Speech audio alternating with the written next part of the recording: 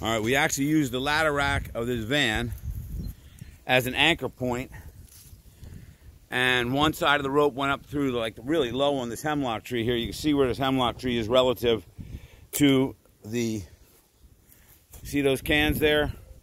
So relative to these bushes here, I thought I was actually going to make those cans, but there's the tips right there.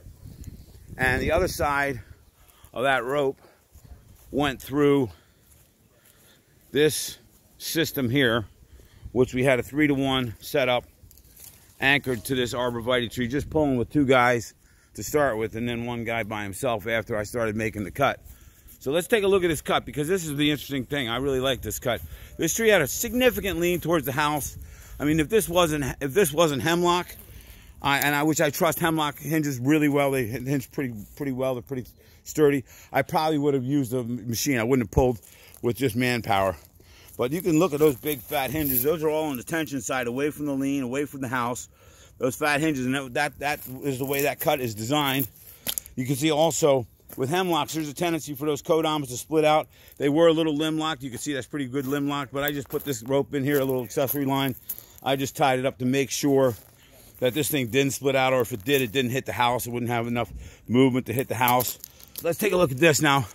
You can see I, I made the cut kind of high, obviously, because I'm trying to shorten the fall up, which worked. So you can see how fat those these hinge fibers were on this side.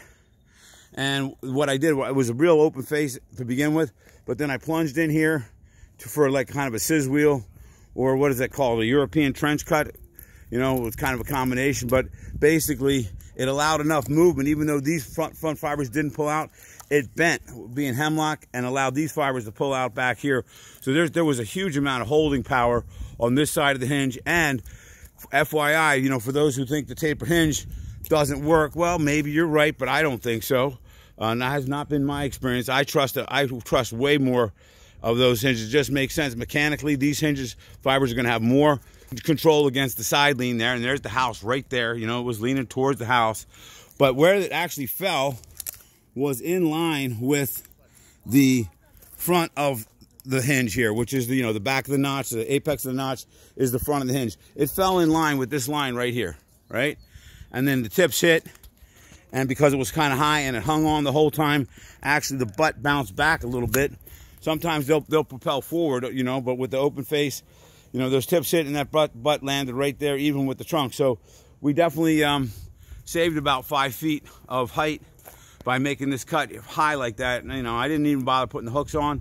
I haven't been in the hooks for a couple years now because last time I was in there in them for like 45 minutes my feet ached for a couple years like two years. But anyhow, there's the cut. There's the tree. There's the house. It all worked out pretty beautifully. I'm real happy with the performance of this cut. You know, again, now maybe you could have used a straight hinge. Maybe you could have used an adjusted gung. You know, that's not been my experience. I'd, if I if it, if it, if I have enough lean that I think I can, the tapered hinge is going to work for me.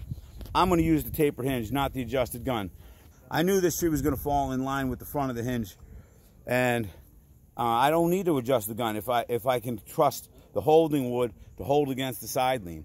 Again, hemlock is a really you know pretty sturdy wood. I felt real comfortable with that. If I had needed more pull on this, if it wasn't hemlock, I probably would have got the skid loader out, which is out front, and pulled with that. But I was pretty happy with the system we had here. So let me know what you think in the comments.